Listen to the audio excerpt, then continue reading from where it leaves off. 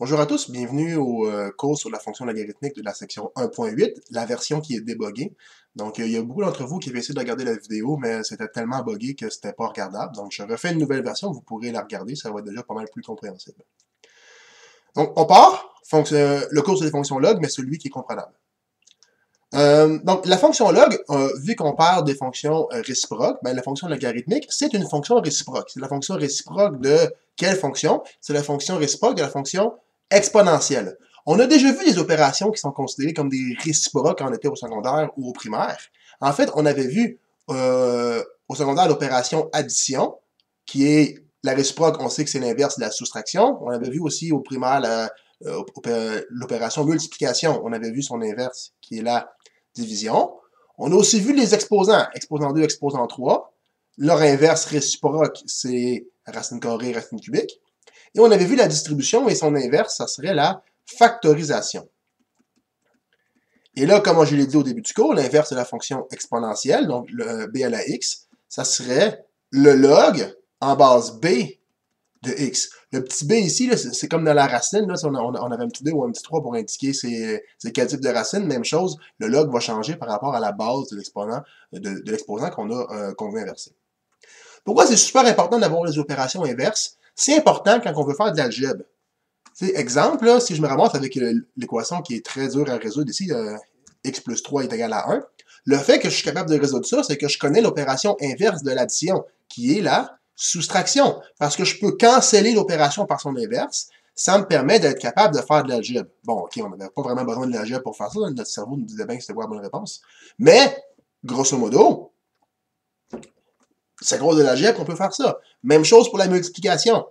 Donc, si j'ai, mettons, 2x est égal à 1, le fait qu'on est capable, égal à 1, on va l'écrire clairement, le fait que je sois capable de résoudre cette équation-là, c'est parce que je suis capable de faire l'inverse de la multiplication, qui est la division, et j'arrive à résoudre l'équation. Et donc, quand on va résoudre des, équations de la forme 2 à la x est égal à 3, je vais avoir besoin de la fonction inverse de l'exposant, qui est les logs. Voilà. Euh, pour donner un petit exemple euh, de ce qu'on va faire, euh, ben, justement, on, va regarder un exemple un peu plus concret, puis après on va passer dans l'abstrait un peu plus. Donc, euh, exemple, lors d'une expérience de biologie, un étudiant compte le nombre de bactéries dans un milieu de culture. Il remarque que la quantité de bactéries est multipliée par 10 euh, toutes les minutes. Voici ses résultats. Donc, le, texte qui est ici, il aurait dû arriver en dessous de mon tableau. Il y a une petite erreur de mise en page. C'est une erreur classique de mon logiciel de maths. Donc, on va aller regarder le tableau, puis après, on va revenir au texte. Je m'excuse. De ma faute. Donc, voilà. Donc, au début, il y avait une bactérie, donc au début de l'expérience, après 0 minutes. Après une minute, ça a, ça été x10. Après 2 minutes, encore x10, donc 100. Après 3 minutes, 1000. Après 4 minutes, 10 000. Ainsi de suite, ainsi de suite, ainsi de suite. Donc, on sait, nous, comme, comme dans un exemple plus haut, on voit bien que c'est une fonction exponentielle qui est ici. Et si on veut savoir la quantité de temps euh, de bactéries après un certain temps. Par exemple, si je vous dis après deux minutes, il y a, combien de bactéries, ben, c'est pas bien compliqué. On se va dans le tableau à deux, on regarde, ah, ben, j'ai 100 bactéries.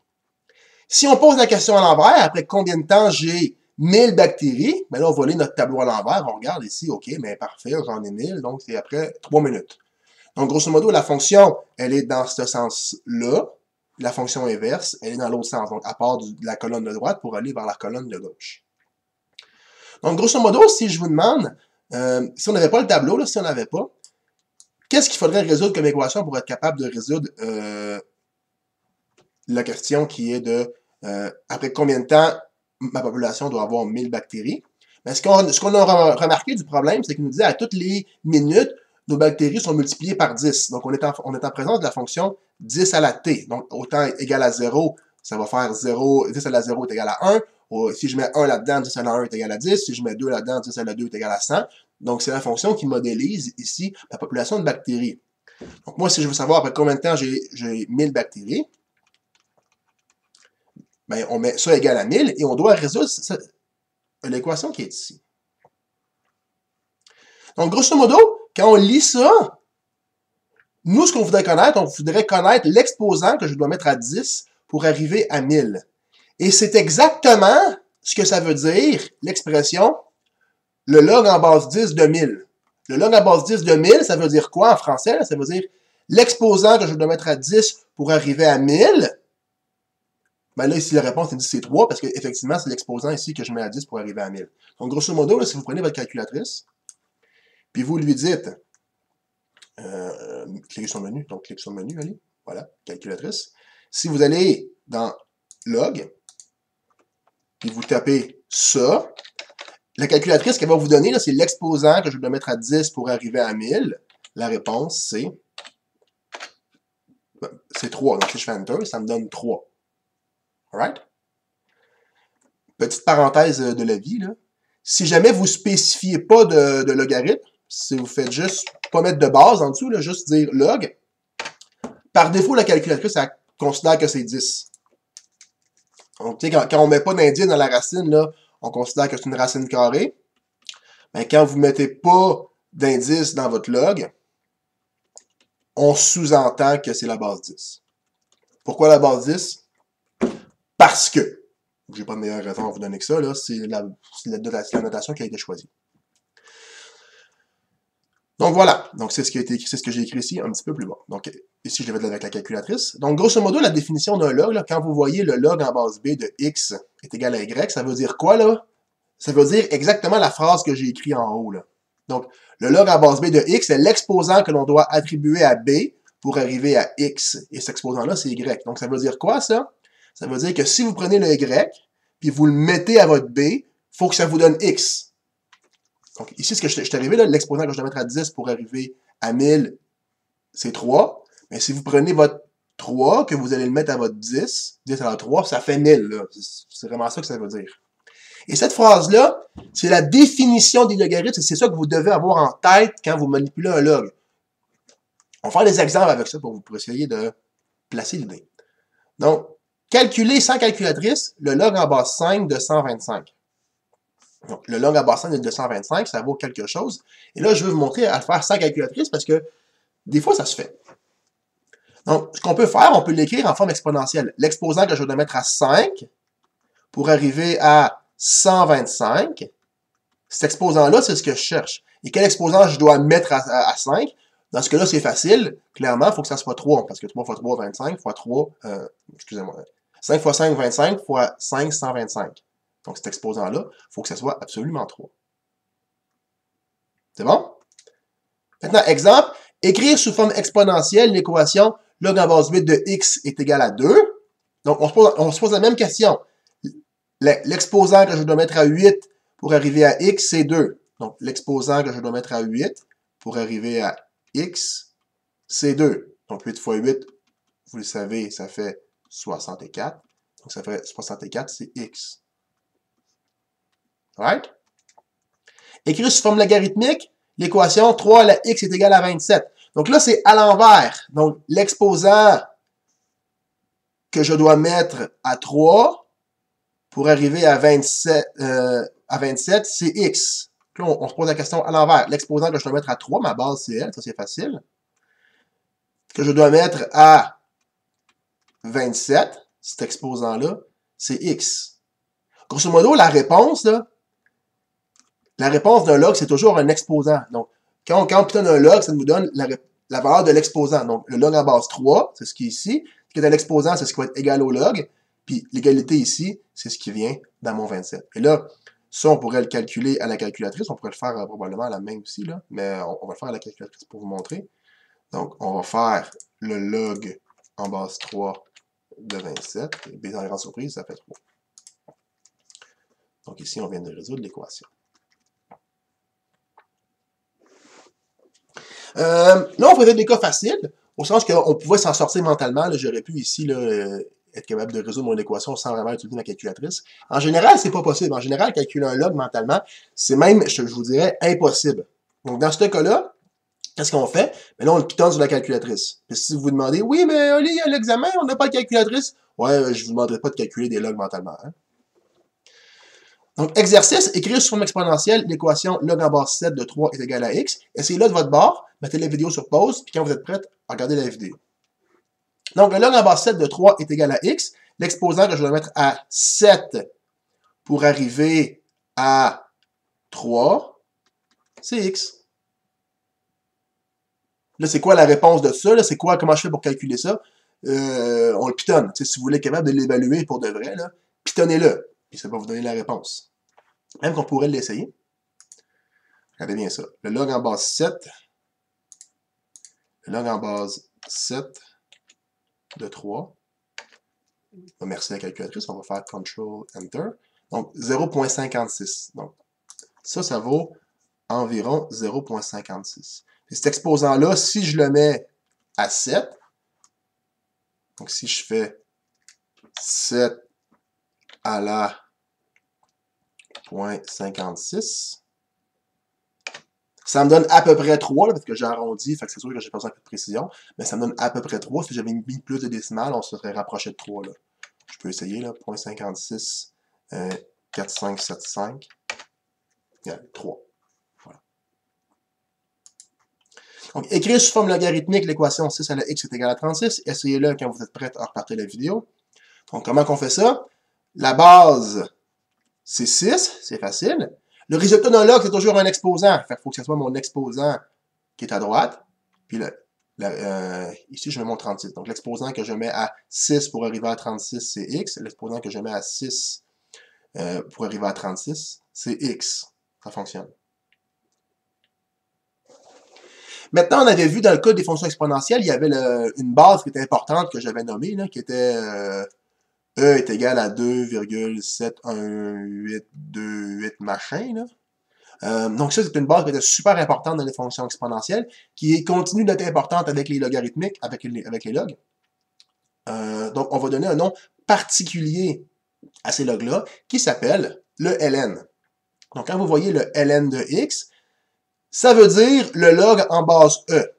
Donc, il est tellement important le log qu'on lui donne un, un nom particulier. Pourquoi ln? Pour le log naturel. Parce que c'est un nombre qui va revenir naturellement en mathématiques, aussi incroyable que ça puisse paraître. Ce nombre-là, il apparaît euh, tout le temps, tout le temps, tout le temps. Donc, exercice, écrire sous forme logarithmique l'équation E la x est égal à y. C'est un exercice, donc essayez-le de la vidéo après. Donc, E la x est égal à y. Donc, l'exposant que je voulais mettre à E, donc, le ln, c'est le log en base E. Là. je ne veux jamais avoir le log en base E. Quand, vous voulez travailler avec le log en base E, prenez le ln. Donc, l'exposant que je mets à E, pour arriver à y, c'est x. Voilà. Maintenant, puisque c'est une fonction, mon logarithme doit avoir un domaine et une image. Donc, exemple, on va aller calculer euh, le log en base 2 de moins 5 puis le log en base 2 de 0, juste pour vous montrer que ça marche pas. Donc, c'est des valeurs qui pourront pas faire partie euh, du domaine. Le reste, ça va fonctionner, mais grosso modo, ce que je vous dis ici, c'est que les valeurs négatives ne pourront pas être dans le domaine, puis les zéros ne vont pas marcher aussi dans, les logs, donc ça ne pourra pas non plus être dans le domaine. On va essayer de, le calculer pareil. Donc, euh, le log en base 2 de moins 5. Si on l'écrit sous forme exponentielle, qu'est-ce que ça va donner? Ça, va nous donner 2. Donc, l'exposant que je dois mettre à 2 pour arriver à moins 5, ben, c'est ça qu'on cherche. Puis quand est-ce qu'une fonction exponentielle, ça vaut une valeur négative? Ben, ça arrive jamais. Ça, ça n'arrive jamais. Pourquoi? Parce que justement, ma fonction exponentielle, si vous vous rappelez, ça ressemble à ce que j'ai dessiné à droite. Donc, Ici, ben, justement, on voit pas, on touche jamais à zéro. On n'est même jamais dans les négatifs. Donc, comment vous voulez que mon fonction exponentielle soit négative? Ça se peut pas. Donc, ça veut dire que je peux pas mettre de négatif dans mes logs. Si vous ne me créez pas, là, vous pouvez le pitonner, le log. Donc, le log en base 2 de moins 5. Le calcul vous dit, ah, non, man, ça marche pas, fais pas ça. OK, on le fera pas. Même chose, le log calculer le log en base 2 de 0. Mais pour la même logique, là, ça va nous donner l'exposant que je dois mettre à 2 pour arriver à 0. On cherche. Mais pour la même raison, on a un asymptote ici. Notre, fonction exponentielle ne vaut jamais 0. Donc, quand est-ce que l'exponentielle s'annule? Jamais. Donc, je ne pourrai jamais mettre 0 dans un, dans un log. On peut même l'essayer si le cœur vous en dit. Le log en base 2 de 0. Puis il va vous dire, nah, undef, ça se fait pas, man. Oublie ça. Donc, undef pour undefined, non défini. Donc, selon ce qu'on vient d'observer ici, les négatifs et 0 ne peuvent pas être dans le domaine. Donc, le domaine d'un log, on serait porté à penser que c'est de 0 à l'infini. Et c'est effectivement le cas. Donc, quand on voit un log, les seules valeurs qui peuvent rentrer là-dedans, ce sont les positifs, mais sans zéro. Une autre façon d'arriver à cette conclusion-là, qui est un petit peu plus facile, c'est avec euh, les graphiques des fonctions. Qu'est-ce que je veux dire par là? Vous savez que les fonctions exponentielles, grosso modo, elles ressemblent à ça. Puis le graphique des réciproques, c'est toujours une symétrie par rapport à l'axe des xy, n'est-ce pas? Donc, si je fais ma symétrie par rapport à la droite xy, ma fonction logarithmique, elle devrait ressembler à ça. N'est-ce pas? Et qu'est-ce qu'on remarque? Ben justement, elle est définie de 0 à l'infini, mais avec 0 ouvert, parce que l'asymptote qui, était ici, elle se ramasse maintenant ici. Donc, j'ai mon, asymptote ici, c'est pour ça que je suis ouvert en 0, et je me rends jusqu'à l'infini sur les x. Donc, une autre façon de conclure que mon domaine des logs, c'est de 0 à l'infini. Voilà. Euh, puisque la fonction logarithmique est une fois c'est ça, que je viens de dire. Donc, ce qu'on vient de dire aussi ici, c'est que le domaine et l'image, donc le domaine de ma fonction logarithmique, c'est de 0 à l'infini, et l'image, c'est les réels. Pourquoi l'image, c'est les réels? Bien, graphiquement, ça a l'air de, de, monter jusqu'à l'infini, ça, on le voit bien.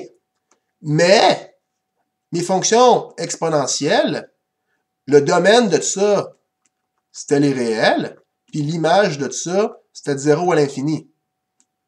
Donc, la fonction inverse, la fonction logarithmique qui fait l'inverse, qu'est-ce que ça fait? Ça permet de domaine l'image. Donc, dans ma fonction logarithmique, l'image s'en vient le domaine,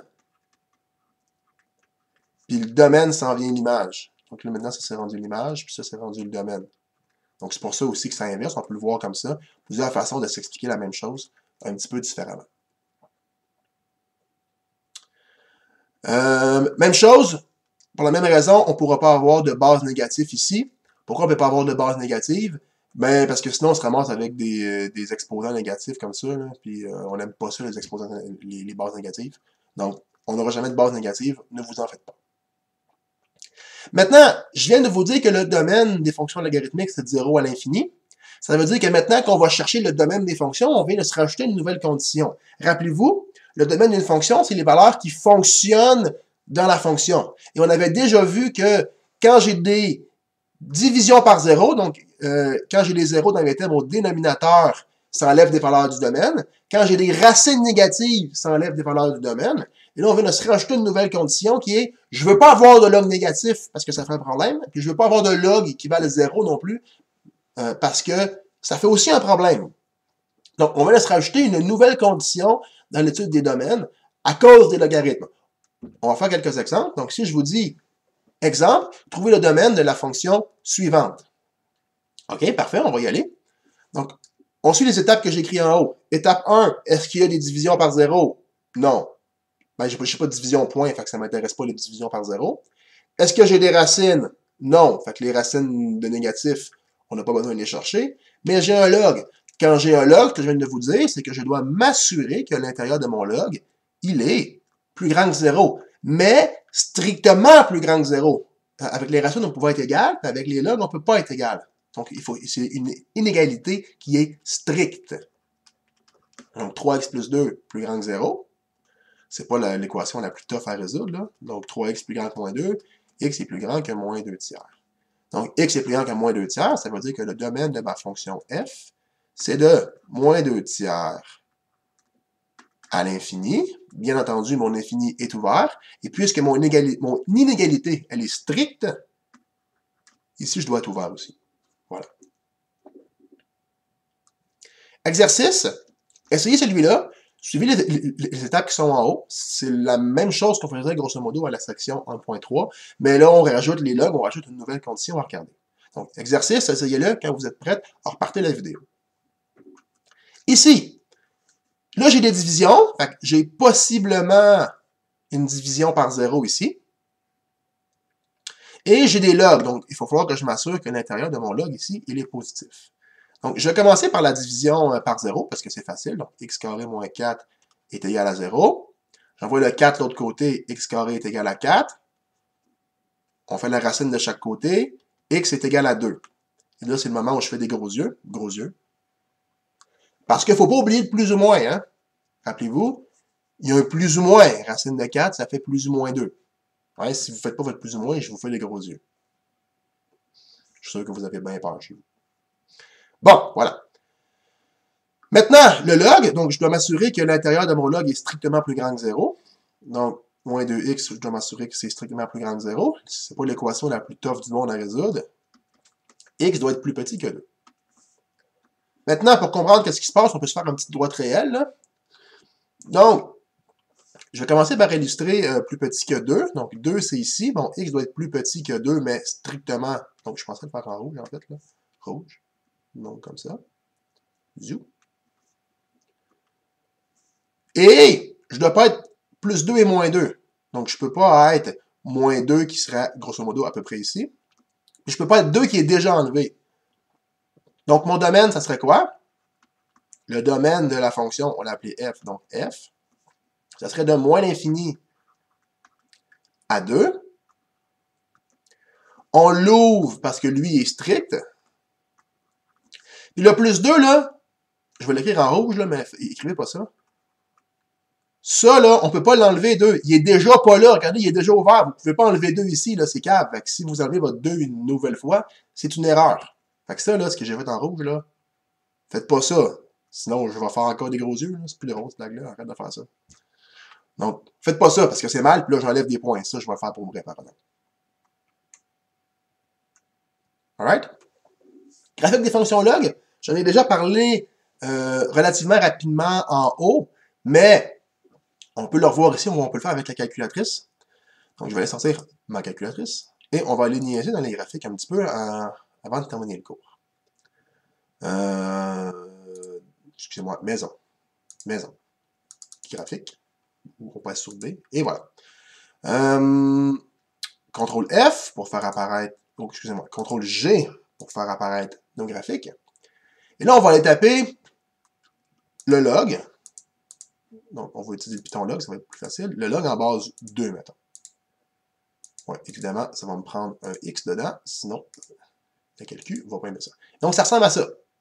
On savait grosso modo que ça allait ressembler à ça, mais peu importe votre base, si votre base est plus grande que 1, ça va toujours donner grosso modo le même feeling. Donc, si je vous dis euh, CTRL-G une nouvelle fois, puis je vous dis le log base 3 de x, ça va ressembler à ça. Puis plus vous allez augmenter votre base, plus votre fonction va tendance à avoir à, s'aplatir comme ça ici. Donc, quand la base est plus grande que 1, ça ressemble à ça ici. C'était relativement logique, j'en ai parlé en haut, puisque c'est l'inverse de la fonction logarithmique. Le graphique, il va, il va s'inverser par rapport à l'arc des x, y, donc il va se mettre à ressembler à ça, grosso modo. Entre 0 et 1, on peut y aller avec la calcul. Si je prends une base entre 0 et 1, CTRL G, entre 0 et 1, donc le log, une valeur entre 0 et 1, mettons une demi, là. J'aurais pu écrire 0.5, mais moi j'ai écrit une demi parce que j'aime les fractions. Voilà. Enter. Là, elle est de l'autre côté. Puis on peut, je peux en faire une autre pour vous montrer. Là. Ah CTRL G, Ali. CTRL G. Le log en base, mettons, un tiers de x ça nous donne. Encore une fois, la même chose, lui va, plus s'aplatir ici, donc il va se ramener tranquillement. Donc, grosso modo, ce qu'on voit, c'est que la entre 0 et 1, mon log, il va ressembler à ça. Pourquoi? Parce que l'exponentielle, quand la base était plus petite que 1, ça ressemblait à ça. Donc, quand je fais la symétrie par rapport à l'axe des x, y, comme ça, ben, ça se met à se passer de l'autre côté. Donc, c'est un peu plus tough à voir physiquement, là, mais si vous le pliez, si vous pliez l'écran de même, qu'est-ce qui se produit? La partie qui est ici, elle se retrouve en haut. la partie qui est ici, elle se retrouve euh, plus bas. Donc, c'est là que ça se met à faire l'espèce d'affaire la même. C'est un petit peu plus euh, fucké à voir, mais c'est le même principe qui s'applique.